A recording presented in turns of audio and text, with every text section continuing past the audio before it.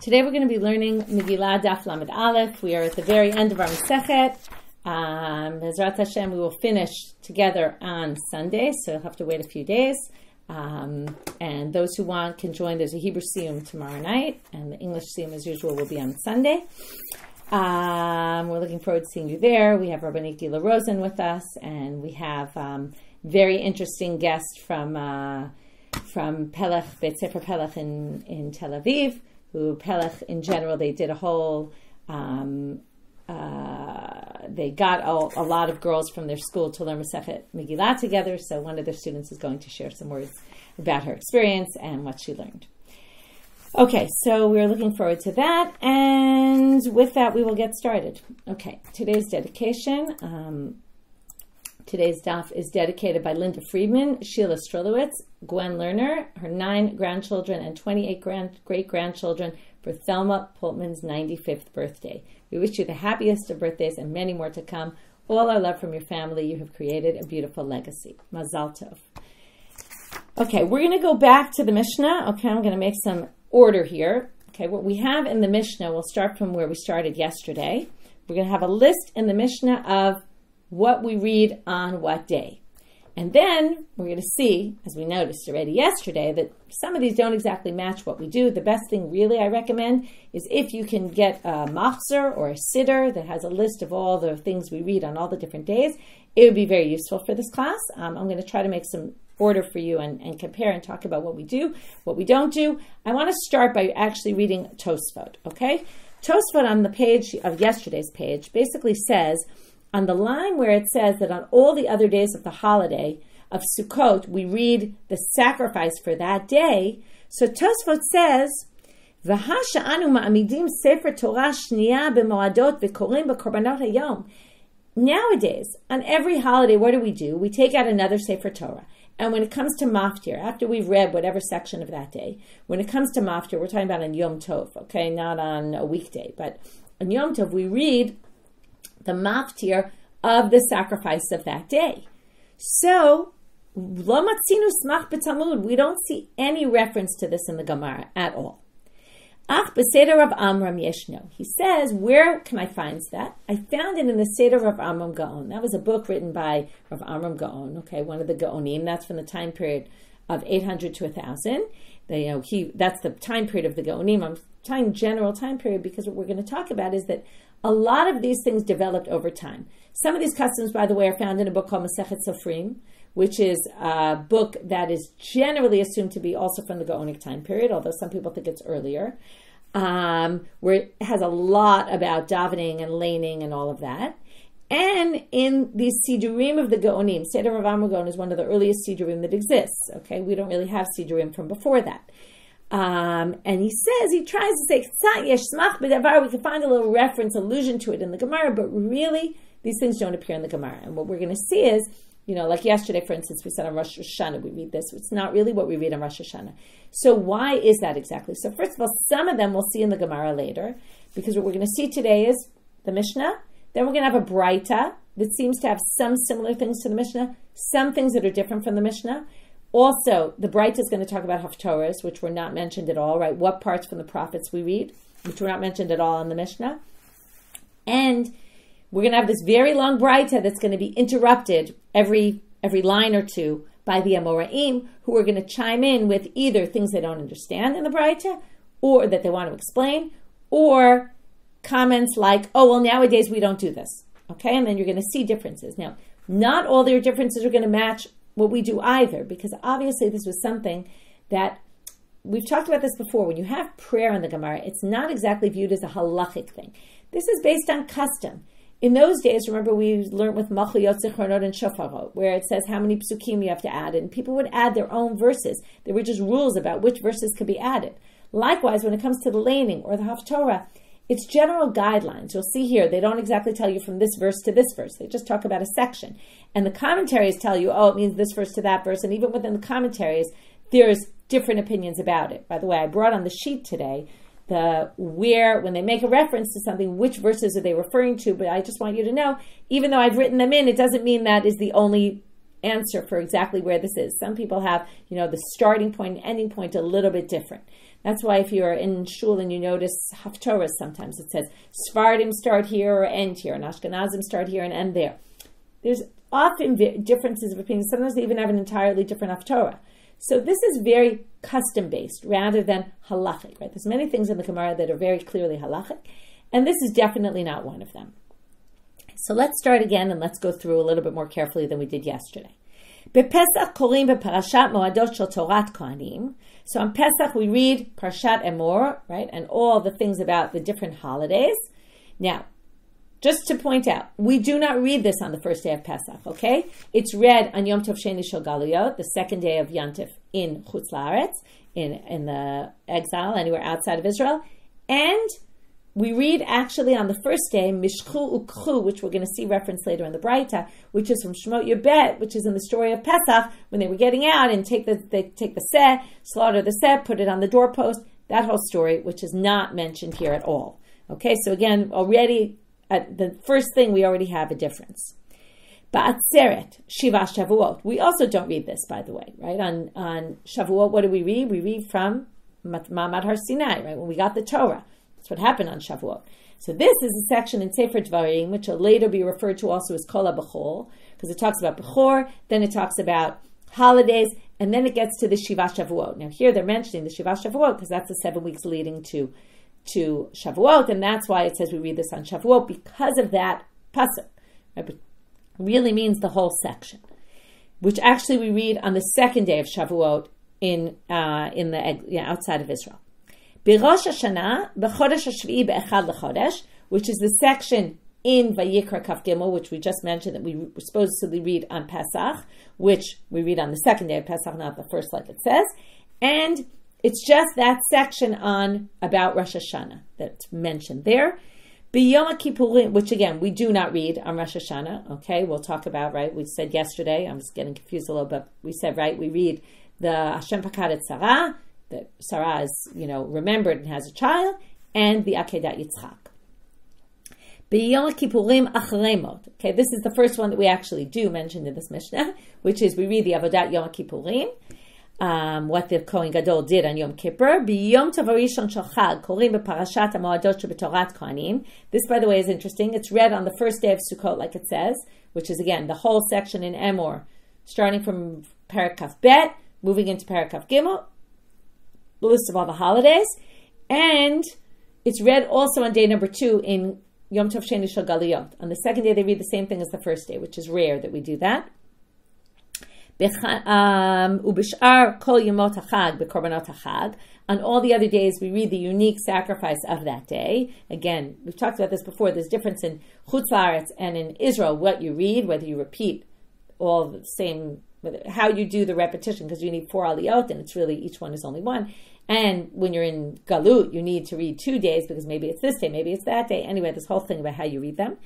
Um, B'Chanukah b'Nisim, Okay, you read about the Nisim because they brought these sacrifices for the Chanukah and Mizbeach, these gifts. Right, there is no Hanukkah in the Torah, so we have to find some reference to it. We're going to have the same problem we get the Haftorah. There's no Hanukkah in the Haftorahs either. So what are you going to read? Bipurim vayavo Amalek, because that's all about Amalek. Birashei Chodashim uvrashei Chodshechem, that's the sacrifices you bring on Rosh Chodesh. B'ma'amadot b'maaseh bereshit, right, in the Ma'amadot you read about the days of creation. B'ta'niyot, brachot uklalot. On the ta'niyot, you read the blessings and the curses in the Torah, right? There's these sections. We'll get back to this later, both in Vayikra, the end of Vayikra. According to Rashi, that's the one you read on the on the fast days, um, and which actually we don't read on fast days, but that's what they say here. And there's also ones at the end of Sefer Dvarim in Parshat Kitavo. There's klalot. We'll talk about these all later. Ein mafsikim beklalot. When you read the klalot, you don't stop in the middle. This is very famously well known, right? It's always when a bar mitzvah boy gets up and starts reading, right? Uh, it, it's and they they have this really long aliyah. You feel bad for them because you know it's the first time reading and they have a really really long aliyah. We'll even get to this a story about this later in the Gemara, not about a bar mitzvah boy, but um, but anyway, the um, or a bar or a bar mitzvah girl who's reading from the Torah. Um, so Ein Mafsikim Klalot, you have to read that entire aliyah straight. Okay, you can't stop. We'll talk about that later. Ela Echad Kulam. So one reads the entire section. B'Sheni u'V'Chamishi b'Shabbat b'Mincha. Okay, so on Mondays, Thursdays, and Shabbos Mincha, Korin Kesidran, you read in order, like what you're up to. Ve'ein olin lahem mina cheshbon. Okay, what does this mean? This means it doesn't, okay, we're going to see. Now, it's very obvious that on Mondays, Thursdays, or Shabbos Mincha, if you've been in shul, you know that they read the first aliyah of the next week's parsha. Okay, that's what's read. Now again, you you never really thought about this only because you're used to the way it is, right? Then comes Shabbat. It's true you've already read three times the first Aliyah, but of course you start with the beginning of the parsha on Shabbat. So this is telling you you it doesn't count. Meaning, if you already did the first Aliyah a week, you might have thought when it comes to Shabbat, well, you don't have to read the first Aliyah. We already read it three times. So no, they're telling you you have to read it anyway. That doesn't count for you. We're going to see a very different opinion in the mission in the Gemara later. We're going to end with this today about an opinion that has a totally different way of viewing this reading on Monday, Thursday, and Shabbat Mincha, which I think you're going to find surprising. Shene'ema. Now, this seems to be referring to in general the Mishnah, which is um, Vayidaber Moshe et Moadei Hashem b'nei Israel. This is in that section in Emor that we were referring to. Mitzvatan shu kol'in kol ve'echa bizmano. It's a mitzvah that everybody read, and as the mitzvah is that we should read, um, that everybody should, we should say each holiday has its own special reading. Okay, that's what we're learning from this pasuk. That everything is read in its proper time, meaning when we're talking about this holiday, so we're going to talk about that. We're going to read it. When we're talking about this holiday, we're going to read about that. That teaches us that we need a special Torah reading for each one, and that we don't do the regular Torah reading that you would have thought.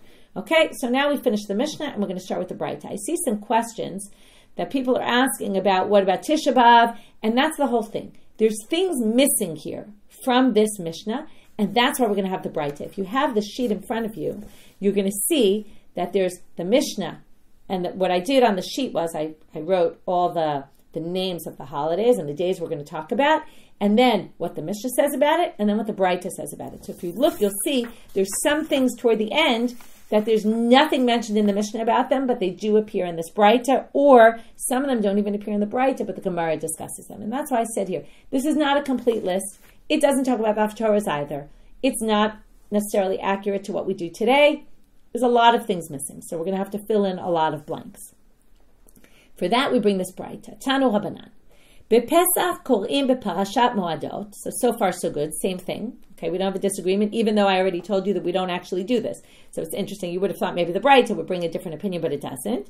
So we read Parshat Emor, right, from Kaf Gimel, uh, Parak Kaf Gimel. By the way, I wrote in the verses here to make it easier for you, okay? So, Vayikra Kaf Bet Kaf Vav 2, Kaf Gimel Mem Dalid. That's what we read on Pesach. Umaftirim bePesach Gilgal. This actually we do do. The Haftorah is from Yehoshua when they did they got into the land and then they did Pesach for the first time, it seems, in a while. That's that Pesach we read about. Makes sense. V'ha'idna. Now here comes. Now you have to always know here. This is a good example of when you're reading a Braita, how to know when the Braita ends and the Gemara starts. This is going to be a tricky one because usually we quote a Braita and then the Gemara starts commenting. But in this case, we're going to have Braita comment, Braita comment, Braita comment, Braita comment. Okay, we're going to keep stopping in the middle of the Braita. So it gets even more confusing, and you just have to pay attention usually to the Aramaic or mentioning an Amora's name already is obvious that an Amora is speaking. So ha'idna, ha'idna is already Aramaic. Ha'idna means nowadays. Okay, so nowadays the ikatre that there's two days. So what do we do for the two days? Well, yom de Pesach galgal ulamachar Pesach Yoshiyahu. Right now they're only talking about the Haftorah. Nowadays we have two days, so the first day we're going to talk about the Pesach that happened in Gilgal when Yehoshua came into the land, and then they all did this Brit Milah, and then they did the Pesach, Korban Pesach, because you can't do the Brit Milah without a, you can't do Pesach without Brit Milah, and people hadn't done it for a while. Anyway, not going to get into the details of that story right now. The next time we have this big Pesach celebration, which seems like also maybe they hadn't done Pesach for a while, was after Yoshiyahu finds this Sefer Torah, and then they all do this big Pesach. So in the time of Yoshiyahu, which again we're skipping many, many, many years from Yehoshua, and then this Pesach in Yoshiyahu's time, which is close to before the destruction of the first temple. Ushar Yemota Pesach. Now, this was missing. We didn't have any mention of this in the in the Mishnah. So now we're back to the Braita, and the Braita is telling us on the other days of Pesach, this will prove my point about just giving you general rules. Milaket Pesach. You collect different parts in the Torah. If you remember, in the Torah mentions Pesach many, many times in all different contexts. So it's like a potpourri of let's take, and if you really look in your siddur and your machzor, you'll see that we take all different sections. Okay, we're going to make reference to them in a minute, but or in two minutes, I should say, because the first one is not exactly what we do. The second one is really what we do. So right now it's very general. So of course, in the bright to right, it's very general. Okay, pick whichever ones you want, kind of thing. My heathen, but the Gemara wants to know what really you're supposed to do, right? Already by the time of the Amoraim, things are becoming much more established. Amar Papa, Mapu Siman. Okay, the Siman is Mapu, Mem Aleph Pevav.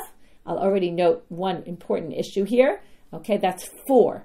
Now, how many intermediary, intermediary days of Pesach are there? There's five.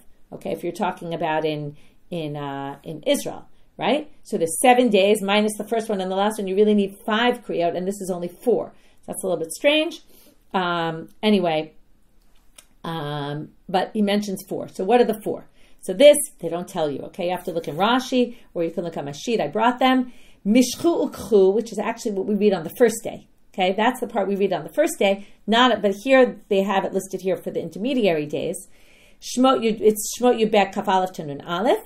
The next one is right. So that's where they took the seh and they put it up on the doorpost to save the, the Jews. Im kesef telavet amid. This is from Shmot Kaf Bet in Parshat Mishpatim Kafdalad to Kaf Yutet. And this is about it's talking about all sorts of mitzvot you should do for to help other people, etc. And it mentions there the holidays. Okay, psol lecha. Okay, this is psol lecha luchot, right? And it's shmot lamedalid aleph to kavav, and also the holidays are mentioned there. And Vayidaber Shama Moshe Lemor, which is Bamidbar Tet, which you might remember from Pesachim, which is Pesach Sheni. Perfect thing to talk about in Pesach Rishon. Why do we mention Pesach Sheni? All these people who couldn't come to the temple in time on Pesach Rishon, they were impure, or they were far away. So that we read also.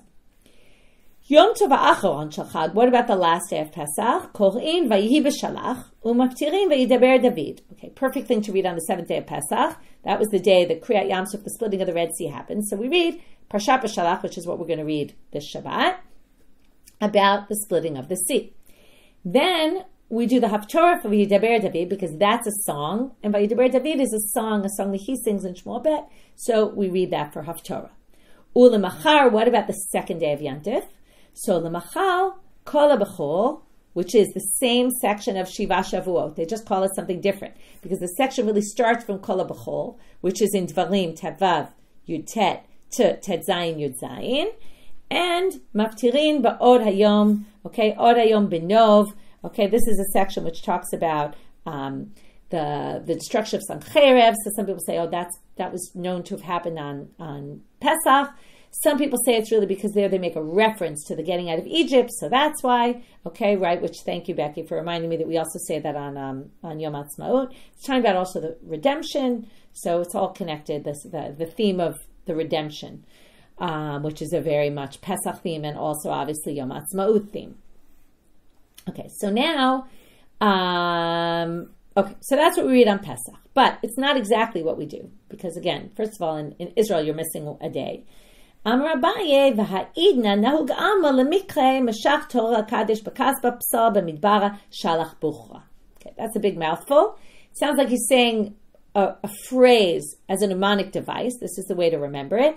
He has eight things listed here. What he's basically talking about, this is the reading for the eight days of Pesach, and each word is a reference to it. And they kind of go in pairs. Like Meshach Torah is pull the ox, so Mishach is Mishchu. That's what we read on the first day. And this is really our custom, comes from Abaye. We read that on the first day. Uh, Mishach Torah, Shul, Shor Kesev Oez Ki That's the beginning of the section in Parshat Emor where all the Chagim are listed. So we read that on day number two. Psol is Psolacha, right? That's Shmot Lamedale. Bimidbara is Pesach Sheni. Shlach is, oh, I skipped, sorry. Kadesh Bekas, I think I skipped two, no? Kadesh Kadesh, ah, right. Kadesh is Kadesh Likol Bechol. That's the section about in Shmot Yud Gimel, where it says all the all the firstborns are sanctified to me. The section of Tefillin is in there, and that obviously there's all a reference to um, getting out of Egypt. Bekasba is in Kesef Telaveh. Psal is the Psal the Chaluchot. Bamidbara is Pesach Sheni. Shlach is B'Shalach. um, getting out, and Bukhra is Kol B'chol. Okay, so we basically have the eight things, and that's really the readings that we do. One issue, which is that gives you eight days. What's the problem? Problem is in two or three more minutes, we're going to say, what do you do on Shabbat Cholamoid? And there's another reading. So then the question is, how does that work in with this? There's actually an overlap between that reading and another. I'm not going to get into all the details, but depending on what day of the week, sometimes Cholamoid is, there, sometimes Shabbat falls out on the Chag, and there is no Shabbat Cholamoid. That's why you really need eight without Shabbat Cholamoid because sometimes there is no Shabbat Cholamoid. If there is, then one of them drops, and then it sort of depends on what's what the what day it comes out. Anyway, you can look in a machzor and follow. Okay. Um, moving on. Atzeret. Shiv'a Shavuot umaftirim b'chavakuk. Okay, this is actually what we do on day number two of Shavuot in Chutz La'aretz. Okay, we don't do this on day number one, but right now in the Breita they say, just like they said in the Mishnah, we read the Shiva Shavuot, which is a section in Dvarim, which is also later referred to as Kol B'chor, and earlier we just called it, we said it on the seventh day of Pesach as well, and Maftirin with Chavakuk, okay, either chapter 2 or chapter 3. It's a debate Ashkenazim Sfardim about this. Achirim omrim, other people say though. In this Breita already a different opinion is mentioned, and this is the one we do. Bechodesh Hashlishi, which is the getting of the Torah. Umaftirim b'merkava. Well, what did we have at Har Sinai? It was this huge revelation of God. When else do we have this revelation of God? The Ma'aseh Merkava, the very famous in Yechezkel, where he sees these angels, and right, it's this section that we talked about recently that nobody really fully understands, and yet we read it for the Haftorah. This is where we read it. So according to Acherim, and maybe that's part of the debate here. Maybe not everyone thought you should read it because we don't understand it. Vaha'idna, again, here chimes in the Gemara. Okay, that was Braita until now. The Gemara chimes in and says, Vaha'idna, nowadays, Ika Treyome, Avdina Kitravai Ve'ifcha. Now they say, now that we have two days, we do both, but we swap, we swap the order. Why do we swap the order? Because the first day of Shavuot is Vav Sivan, which is the day that, according to most people, was the day that we received the Torah. And therefore, if you're going to already be reading the day about the receiving of the Torah, you may as well read it on the proper day. Okay? In Chutzla, in Israel, we only read that, and we don't even read the, the first one. Okay, which makes sense, by the way, right? It's seems like a more appropriate Torah reading than talking about something that mentions, you know, count the days till Shavuot, but it's not exactly as central as reading, you know, the acceptance of the Torah. בראש השנה Some of the Braita also, it says, not what we do. Read this section in Parshat Emor about in the seventh month. This is right, this is what you bring. And then you do the maftir of Haben Yakir Ephraim. What's that about? If you remember, by the way, it's one of the ten psukim of Zichronot because it says Zachor as Kerenu Od. So it appears in our davening on Yom Kippur, and it's the Haftorah because it talks about God remembering us. Rosh Hashanah is called Yom HaZikaron, so it makes sense. The Yeshomrim, some people say, here comes what we do, Fashem Pakadet Sarah, because there's a tradition that Sarah's prayers were answered on, on Rosh Hashanah. Umaftirim Bechana, okay, this is tradition, both of them right? Their prayers were answered on Rosh Hashanah, so we do the Haftarah of Hana. Both of them were praying for children. Eventually, after many years, were answered. Their prayers were answered, so perfect thing to talk about on Rosh Hashanah. And now that we have two days, now you would expect them to say what? We do one day Hashem Tzara, and one day Ubayom, right? Ubayom Hashvi'i. That's not what they're going to say. They're actually going to say the custom that we do which is והנה דיקתרי יומי יום הקמה כי יש אומרים, ולמחר העלויים נישאת אברהם, ומפטירין הבן יקיר. So the Haftorah stays, but the Torah reading switches and they don't really tell you why. Okay, why they switched it and they got rid of the section from Emor and they instead put in Akedat Yitzchak. Okay, maybe they just thought it was a much more moving passage than, okay, we have this holiday of Rosh Hashanah. Um, Okay, one thing I want to point out here, something very interesting that you could just sort of pass over, but if you pay attention, so nowadays that we have two days of Rosh Hashanah, what do you mean nowadays? Didn't we always have two days of Rosh Hashanah, right? Didn't we have a whole discussion about that and a whole thing? So the commentaries ask that question. There's answers given, but the question is really actually a pretty good question. I'm not going to get into the answers right now. Next, Biyom Kippurim Korim Achremot, Umaftirin Kiko Amal Ram Venisa. This is a section from Yeshayahu. This is actually what we read. Ubimincha Korim Ba'arayot, which is a big question why we read the Arayot, which are all the forbidden relations. The most obvious answer would be to say that it's in the same Parsha Achremot of the Avodat Yom Kippurim. So maybe because of that they read it, because it's kind of the continuation there. It's a possibility. Some people say it's because the Jews keep the mitzvah very carefully, and because of that they're worthy of getting atonement. All sorts of reasons, I don't know why. Uma, and there's many different reasons given you. The list is long because usually when it's not so clear cut, people come up with different theories. Maftirim Yona, we do the maftir of Yona. That's a very more clear connection, right? Where it's about doing tshuva and repenting and changing your ways, etc. Amar Rabbi Yochanan. Okay, now we're going to have a break again. Again, this I just want to keep reminding you. This was one long breita that we just keep breaking. I want to keep reminding you because it's confusing. If you look at the sheet, okay, for those who are more new or maybe you haven't heard this explanation on the sheet that I have the study guide, I do it in different colors and fonts to show you the difference between the Tannaitic material and the comments of the Amora. So I want you to, like, particularly on a page like today, it's very relevant because you'll see what's a quote from the Torah, like what the Torah passage that we're reading, what's a comment of the Breita, and where does the Gemara start interjecting. So it's very obvious if you look at the font colors and the fonts and the colors, you'll see where there's an Amora talking and where it's the Breita. So now we have a total break since we mentioned this Haftorah of Yom Kippur in the morning, even though we're already past that because we got to Mincha of Yom Kippur, but now we're going back to the morning Haftorah, they're going to say something about the verse, the verse that was quoted here, and they're going to compare it to a verse in the Torah and a verse in the writings as well. So, Amar Rabbi Yochanan, Kol makom she'ata motzei gvurato shel Baruch Hu. Everywhere you see the glory of God and how amazing he is, you also see how humble God is. How do you see this? Well, davar ze kachub Torah. It's written in the Torah. Shanoi b'nivim. It's repeated in the prophets. Umishulash b'ktuvim, and it's also tripled in the writings. So it appears in a bunch of different places. Sorry, this is shaking. Okay, kachub Torah. Ki Hashem Elokechem hu Elohei Elohim v'Adonai Adonim. Okay, God is right, the God of right, the, the the most wondrous of all. And immediately after it says, v'amana. Now, if God is so amazing, high and mighty, why would he be dealing with people who are considered low on the, you know, in terms of, um, how would you say it? In terms of importance, if we think of a community, right, we think of the nobles and the, you know, the people who have high level in society rather than the people who are unmarried, who lost their husbands, who lost their parents.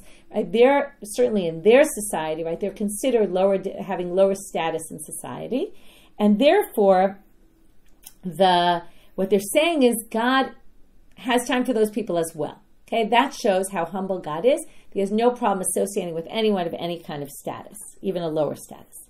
Shanui b'Nevi'im, where do we see this? Exactly from the Haftorah of Yom Kippur. Ko Hamal Ram Shochin Ab v'Kadosh, right? Our prayer Shochin Ab Marom v'Kadosh Shemo comes from here. V'ukti batre, right? Which means God is high and mighty. V'ukti batre v'eteka ushfal ruach, and it says there Eshkon. God will dwell among the low people.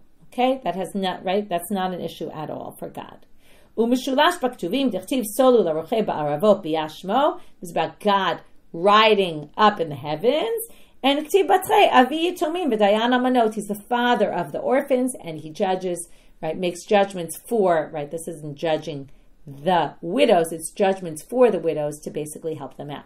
So God is basically both high and mighty, but also humble at the same time. And I assume this is a way of trying to teach the people that you should be the same, right? We all know the problem of leadership and how often it gets to their heads and they no longer have this this trait of humility, and it's saying how important that is. Okay, that was a total segue. Now we're back to the Breita.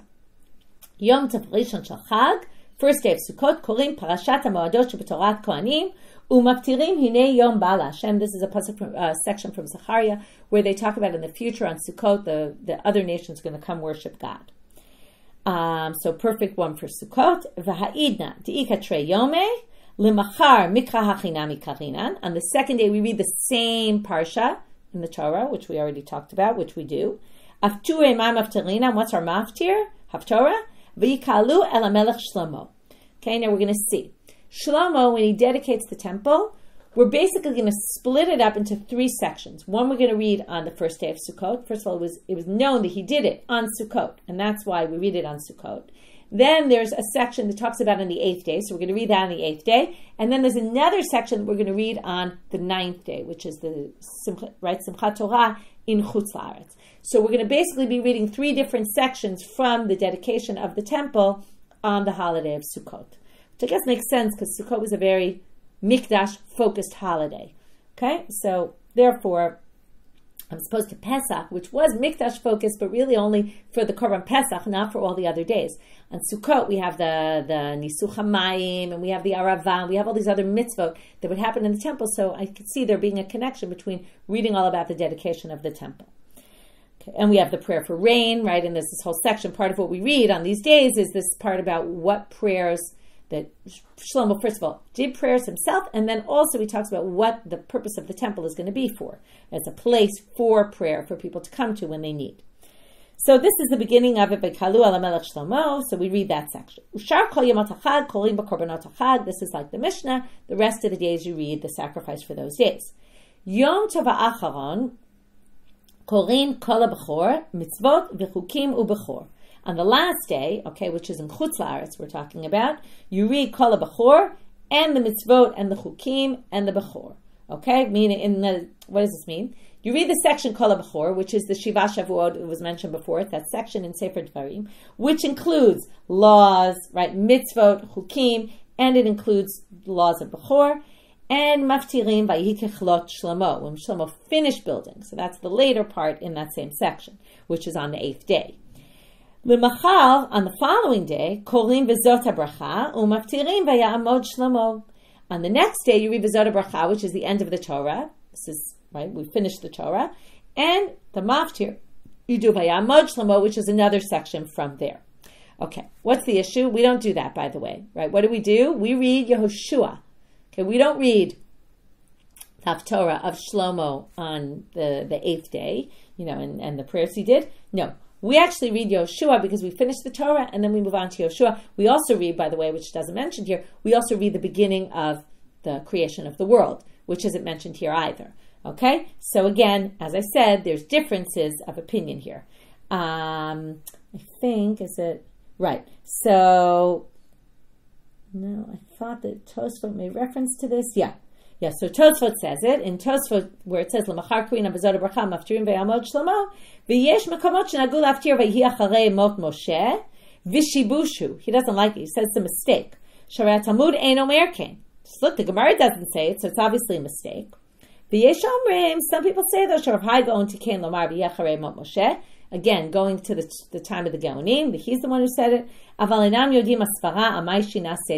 He says, but I don't know why he changed the, the order of the Talmud, which is funny because the Tosfot on the previous page basically was saying that there's things different. Right? First of all, Tosfot is a group of people that span 200 years. So the one who wrote that one didn't necessarily write that one, and they might not have seen it. So there's two different, right? One is saying, oh, well, this, you know, it doesn't say this, but we do it, and it says it in Seder Rav Amram Gaon, even though it's not mentioned in the Gemara. This one is saying, well, it's not mentioned in the Gemara. Why would we do that if it goes against what it says in the Gemara? So anyway, that's. But what's the difference, by the way? The one he mentioned on the previous page that we started with about that we add, this was adding, that we read maftir on holidays and we say the section about the sacrifices brought, that was in addition to whatever Torah reading. This is against the Torah reading that it says. So that is more difficult for him to understand. Here it actually goes against what the Gemara says. So there, there's actually a difference. Okay, next. Amar Rav Huna Amarav. Shabbat shechal yopacholosh moed Bein bepesach, bein besukot. Okay, now we're going to have Shabbat Chol I told you we'd get back to this. Shabbat Chol on Pesach and Sukkot has its own special reading. Mikra Karina Re'e Ata. Okay, it's a section from Parsha Re'e. Okay, um, one second. It's from Shmot. Oh, sorry. No, it's not Parsha Re'e. Sorry. Re'e Ata is from Shmot Lamed Gimel. Okay, um, which talks about coming three times a year to the temple. Afture bepesach. So what haftorah do you say? Bepesach atzamori veshot, which is tchiyat metim, right? The, these dry bones that come back to life, and it's a reference to the tchiyat metim, which in the future is going to happen on Pesach, supposedly. Again, there's many, there's some other reasons given as well. I'm not going to um, to go into all the details there, like all the different reasons. Again, these are all things where there's something that exists, and then it becomes also, um, you know, people give all sorts of theories and connect in all sorts of ways. You know, why the real reason we don't really know. Ubisukot bagog magog, because again, there's a tradition that that might happen on Sukkot, or maybe there's other reasons as well. Okay, um, moving on.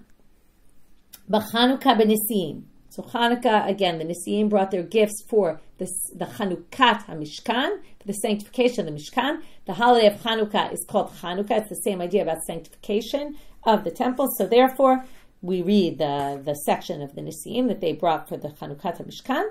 Umaftirim b'nerot Zechariah. You do the Haftorah in the Nerot of Zechariah. Zechariah had this image of seeing these, these um, about Nerot, menorah also. So therefore, we read that. V'im mikla shtei Shabbatot. Now, sometimes it comes out on two Shabbatot. Now, Zechariah is talking about what's going to happen in the time of the Second Temple. So, because this happened in the time of the Second Temple, it's appropriate to be uh, because the story of Hanukkah happened in Second Temple time period. That's the best one to read. But if it's two, if it ends up two weeks, sometimes Hanukkah starts on Shabbat and ends on Shabbat. Kamaita b'nerot to Zechariah. So the first one we keep is that, but to the second one is Nerot Shlomo.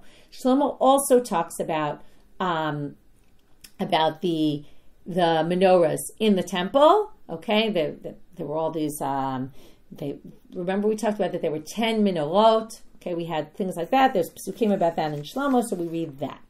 Okay, so basically, I see people are writing that, about this being a confusing daf, so I will say this is quite confusing. It took me a while to prepare it as well.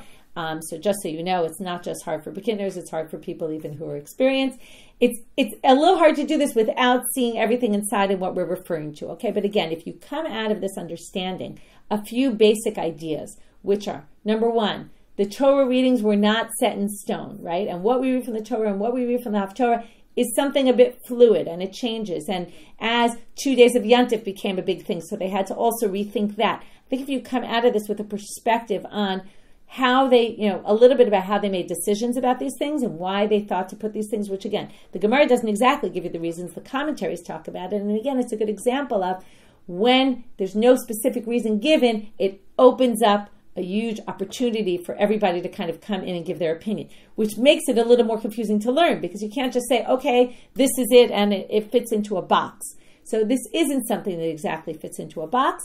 And in general, prayer is like that in general, where if you re- if you want to, I once taught a class in prayer, and it becomes a little difficult because most of the reasons for how these prayers developed were never written down and they were never explained, and therefore it just becomes conjecture. So you read one book and somebody has this theory, and you read another book and someone has another theory, and it becomes very hard to really break it down and figure out what the reasons are. The best way to really study prayer and this kind of thing is to study how it progressed, what its original was, what the basis, and then what things got added on and what things changed.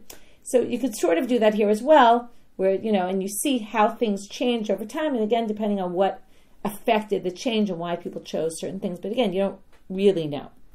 So if you're a little confused, don't feel bad. Sometimes there are dapim that are like that, but um, you know, it, it, it is quite a confusing daf, but I did try to help you by, if you really, and again, if you have extra time to study this daf, the best thing to do would be to open each section in the Torah and read it inside and see what they're talking about.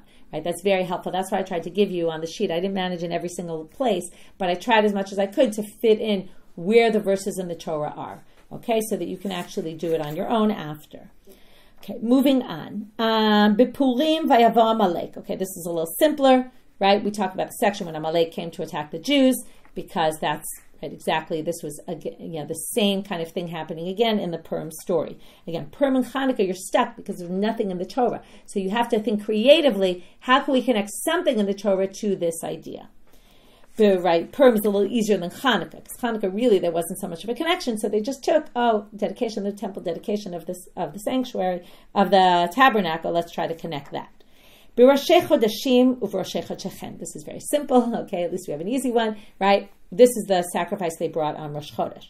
Rosh Chodesh Shabbat. Okay, now we have, I would say, like the cuter things. Since we have references in the Nevi'im to connection between Shabbat and Rosh Chodesh, so if Rosh Chodesh falls on Shabbat, we have a special Haftorah for that Shabbat. Maftirim Chodesh. Okay, it's really Shabbat b'Shabbato and Chodesh b'Chodsho. It talks about Shabbat and Rosh Chodesh together, so we read it on Shabbat Rosh Chodesh. Chali up b'Shabbat. It comes out on Sunday, Rosh Chodesh. You might know this is famous. It's called Machar Chodesh. Okay, Me'etmol Maftirina, the day before, which is Shabbat, you do the Haftorah called Machar Chodesh, which is the story about David and Yonatan, when Yonatan was trying to help save David. She says, tomorrow is going to be Rosh Chodesh, so, oh, very cute, right? Since tomorrow is going to be Rosh Chodesh, then let's read that on the day when tomorrow is going to be Rosh Chodesh. So both those times we stop, we don't read the regular Haftorah for that week, we read specifically this. Amar Rafuna, Rosh Chodesh Av Shachali Shabbat. Okay, when Rosh Chodesh Av falls on Shabbat, and we do this the Shabbat before Tisha B'Av. Chodshechem u'moadechem san'an nafshi hayu alay. This is what we call Chazon Yeshayahu. It's the first um, chapter of Yeshayahu. We call it Shabbat Chazon because we read about this this Chazon Yeshayahu where he talks about all the bad things, and God says, "I hated your." Um, San'an Nafshi, I hated your holidays and your Rosh Chodeshim. Hayu alay Torah, they were a burden to me. So again, stop the Braita for a minute to try to understand this. My hayu ala torah. Why was it a burden? Amar kadosh baruch We actually saw this sugi already before in Shas. אמר הקדוש ברוך הוא, לא דיין אין לישראל שחוטאים לפניי, אלה שמשכיחים אותי לידע איזו גזירה קשה אביא עליהם. Not only are you sinning, but now I have to work harder because I have to come up with what punishment am I going to give you, right? Anyone who's a parent or a teacher knows, right? This is really a problem. Your kids misbehave. It, it becomes your headache, right? Not just their headache becomes your headache as well. You have to decide how you're going to punish them, right? If they just behave, life is nice and it's easy and you know simple. But as soon as something goes out of whack, right, you have to figure out, oh, how am I going to punish them? You have all these decisions to make. So that's a burden, as we know. Someone said before, what about Tisha B'Av? So again, the, now here, the Braita didn't talk about this either. The Gemara comes in and says, "What do you read on? What's Haftorah do you say on Tisha B'av?" Interesting, they don't ask what Torah reading. In a minute, we're going to get to that. You would have expected Torah reading to come first. Amarav Echa Lizona, which is also from Yeshayahu. It's in the first chapter. It's just later in that chapter. Bit of a debate which pasuk we start from, but this one is pasuk Kaf Aleph, whether we start from there or the pasuk before. Difference of opinion, but says we do that. Mikra Mai. Okay, we actually don't do that Haftorah. Okay, we'll get to that soon. What do we read from the Torah on Tisha B'av? Tanya. We're going to have a Braita now. We're, we're done with that original Braita. Now we're quoting a different Braita that gives three opinions. Achirim omrim, they start with achirim. Im lo tishme'uli, that's the curses. Okay, these are from, uh, just check, right? These are the curses from Vayikra. Okay, the curses in at the end of Vayikra in Bechukotai. Um, Rabbi Natan Bar Yosef Ad. This is from the spies. Remember, the spies, according to tradition, happened on Tisha B'av. So we're going to read about the sin of the spies. V'yesh omrim azot, which is also about the spies, but it's the part where they get punished. The punishment and not the sin. So difference of opinion here. Amar Abaye, but Abaye comes in and says, we don't do any of these. Ha'idin nahug alma lemikre banim, which is a section in Parshat in Sefer uh, Dvarim, also Parshat Dvarim, in the beginning, chapter four, where it says, kind of predicting what's going to be that you're going to leave God and sin and get punished as a result. Umaftirin asof asifim. Okay, and then the Haftorah is this section in Yirmiyahu where Yirmiyahu basically is mikonen, you know, he laments the destruction, which is appropriate for Tisha B'Av. Here we have a repeat sugi of something we saw in Ta'anit. So Minani Mile, why do we read in the Mamadot? Remember the Mamadot, those were people who came to the temple or to their local shuls to pray for the sacrifices to be accepted. So why do we read from Aseh Breshit? Amar Ami Ilmale Mamadot Lonit Kaimu Shamayim Ba'aretz. If it weren't for people praying about the sacrifices, we wouldn't have the world. Okay, and that's why we read about the creation of the world. How do we get this? Shanemal? Im lo briti yom. If it weren't for the covenant that we have, there's a pasuk in Yirmiyahu, then the world wouldn't be exist. Now we're going to see what's this covenant. The covenant is that you bring korbanot and I will forgive you. Okay, that's the covenant, and because of that korbanot, this is what keeps the world going. So how do we know this? Uktiv ki irashena. Um, Avram turns to God and said, "How do I know that I'm going to that I'm going to have people who are going to inherit me?" Ama Here's the story behind that pasuk. He said to God, Ribono Shalom, Shem Achas V'Shalom, B'nai Israel Chotim L'fanecha V'atau Selahem Kedor Mabul Kedor. He looked in history and said, hey, look, people sinned, you destroyed them. How do you know, how do I know that my people are going to continue forever and you won't destroy them? Amar Lo Lav. He says, no, no, no, that won't happen. Amar L'fanav, Ribono B'mei Edah. Avram says, I want a sign. Amar Lo Chali Agla Meshuleshet. He says, do the Brit Bein right, which is this very strange tekes, According to this explanation, it's a reference to sacrifices, right? He took these animals, he split them in half. I won't get into all the details, but Amar Lefanav. So basically, before we get to the next line, God says sacrifices. That's going to be your solution. So Avram says to him, right, as if Avram saw into the future, he says, Shalom, Tinach Bizman Mikdash Kayam. So I understand when there'll be a temple and we can bring sacrifices, that's great. Bizman She'en Beit HaMikdash Kayam Mate Alehem, what if there isn't? אמר לו, כבר תיקנתי להם סדר קורבנות. כל זמן שקוראים בהם, מעלה אני עליהם, כאילו מקריבים לפניי קורבן ומוחל אני על כל עוונותיהם. Right? You'll read about the sacrifices, and then it says, if you did the sacrifices. Okay, so this whole thing was coming to teach you. It's the sacrifices that keep the world going and that keep the Jews going. So that's why they read about Ma'aseh Bereshit. B'taniot brachot uklalot ve'em afsikim beklalot. So now, why can't we stop in the middle of an aliyah with the klalot? Minani, mile, where do we get it from? Two different answers. Amar of Chia Damar Asi, Damar Musar Hashem Bini altim as. Don't, don't, don't hate my, my musar. When I tell you, you know, to behave, don't get upset. So if you stop in the middle, it looks like you're hating what, what you're reading. Rishlaqishamar, the fishhaeinumbachala puranut. We don't want you to make a bracha on the Torah. It's as if you're blessing the bad things, as if you want them to come true. So they say, so what should you do? Especially according to Rish Lakish, so you can't stop in the middle, but you stop at the end and then you make a bracha. It's also like making a bracha on the bed. Tana, so the Braita says, כשהוא מתחיל, You read a pasuk before and a pasuk after, which you already know means not really a pasuk, because you can't read one pasuk of a section, so you read a few psukim before, a few psukim after, and then you do the blessing. Amar Abai, Lo shanu Abai is now going to distinguish and say this is only true in the Vayikra ones. Aval shebemishnet Torah, the ones in Dvarim, posek, you can stop in the middle. We don't do this, but he says you can. My timer, halalu b'lashon rabim amurot u'moshe mipi agvura amaran. The ones in Vayikra are plural. The ones in Dvarim are singular. The ones in Vayikra are said by God, and the ones in Dvarim are said by Moshe. So the ones by Moshe were less serious than the ones that are communal and said by God. Levi Barbuti, here's a story to prove this. Havakare v'kamagam kameja Rav Huna Barure. He started fumbling because it was a very long aliyah. It was hard for him. So Amarlo achinafshech. Rav Huna said to him, don't worry about it. Loshanu ela kalosha b'torah kohanim. You can stop here because you're in the middle of Dvarim ones. There we said you can stop, so you can take a break in the middle of your lane. Okay, Tanya. ברייתא. רבי שמעון בן אלעזר אומר, עזרא תיקן להם לישראל שיהיו קוראים קללות שבתורת כהנים קודם עצרת. ושבשנה תורה קודם ראש השנה. And this actually is true.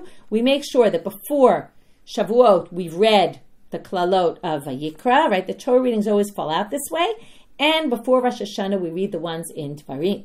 To which the Gemara says, Bishlama, and Kadesh Techlesh Shana Klilotel. We want to finish the year okay, with the curses. Like get the curses done before the end of the year. So they say, end of the year, what does that have to do with anything? Because Devarim before Rosh Hashanah. Rosh Hashanah is the beginning of the new year. Is that Seret Rosh Hashanah? No, Shavuot is not Rosh Hashanah. Well, if you learn Masechet Rosh Hashanah, you will remember this maybe. It is considered the beginning of a new year for the trees. That's why we have bikurim, the first fruits. So there is some element of it. Okay, now we're going to get off on something else. Tanya, totally non sequitur. Because Rabbi Shimon ben Lazar was quoted, we're going to quote a different braita of his.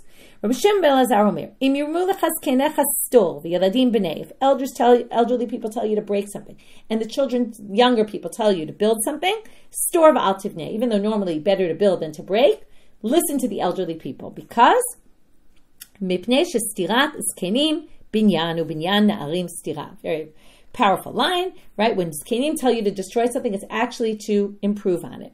And it's actually for a good reason. And when, when children tell you to build something, it's not always for a good reason. And Siman Ladavar, I see you wrote this in the chat, Rechavam ben Shlomo, that he listened to the young people and not the elderly people. And because of the elders, because of that, he ended up having the, the kingdom split.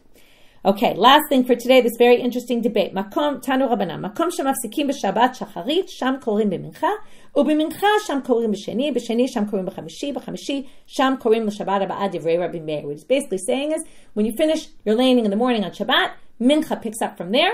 Wherever you finish there, Sheni, Monday, you pick up from where you stop. Thursday, you pick up from where you stopped on Monday, and Shabbat, you pick up from where you stopped on Thursday. Very different approach to what we do. That's Rabbi Meir. Rabbi Yehuda Makom shemafsikim b'Shabbat shacharit, sham korim b'mincha u'b'sheni u'v'chamishi u'l'Shabbat haba'ah. He says, like we do, no. Whatever you ended, Shabbat shacharit, that's where you read all the rest of the readings. Amar Rabbi Zera, the halacha is makom shemafsikim b'Shabbat shacharit, sham korim b'mincha, b'sheni u'v'chamishi u'l'Shabbat haba'ah. He paskins like we do, right? We paskin like him really, which is you like Rabbi Yehuda. So the Gemara asks, Rabbi Yehuda, why didn't you simply say the halacha is like Rabbi Yehuda? Answer, Mishum ta'afchalahu, because people switched Rabbi Meir and Rabbi Yehuda and then they wouldn't know who you meant. So he wanted to make it very clear how we hold, and that's what we do. Stop here for today.